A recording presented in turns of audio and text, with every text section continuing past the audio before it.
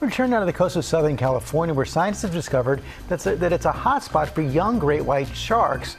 Matt Gutman is out there in LA with a look at whether this is something beachgoers should be concerned about. Good morning, Matt. Hey, good morning, George. Shark Lab doesn't want us to think about it in this way as a, an issue of concern. What they want is for us to be aware, aware that conservation has helped great white populations on the East Coast and the West Coast to bounce back, and that there are many more encounters between humans and sharks than they ever imagined. My God, right under the board. This morning, new research from the University of California, Long Beach, revealing how much humans and great white sharks unwittingly interact every single day at hotspot beaches in Southern California. We're taking the Zodiac here? We joined Chris Lowe, a marine biologist and director of Cal State Shark Lab, on the water. Behind us is a typical Southern California beach where Shark Lab conducts a lot of its studies. This one is home to over a dozen great white shark juveniles, and on any given day, there are dozens of encounters between those sharks and swimmers and surfers here. Cruising just offshore, we reach our first juvenile great white shark habitat. For probably the first time in, in the 20 years that I've been working here, we have a, a juvenile white shark nursery aggregation. What does that mean?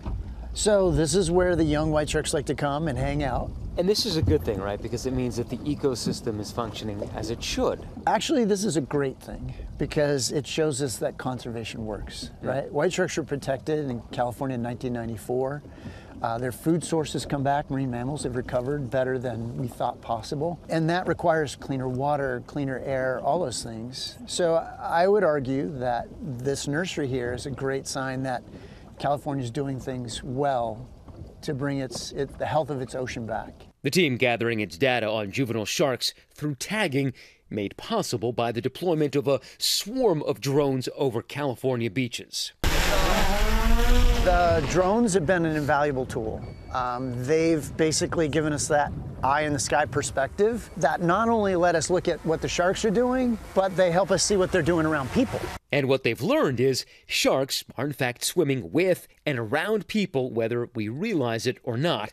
There are literally thousands of interactions a year. And basically, at the end of the day, where you have aggregations, you could quite often have lots of people encountering these sharks daily. Do the people know they're encountering the sharks? They do not.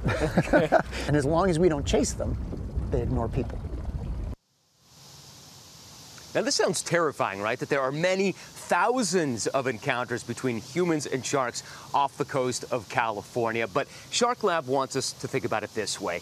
Of these thousands of encounters, very few turn bad. The vast majority are peaceful, and it's possible that sharks are actually learning to avoid humans. Now, if you want to see more of this, you can watch the special streaming on the National Geographic Channel right now on its annual Shark Fest. It's called Sky Shark.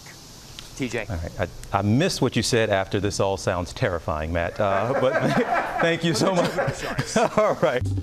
Well, hey there, GMA fans. Robin Roberts here. Thanks for checking out our YouTube channel. Lots of great stuff here. So go on, click the subscribe button right over right over here to get more of awesome videos and content from GMA every day, anytime.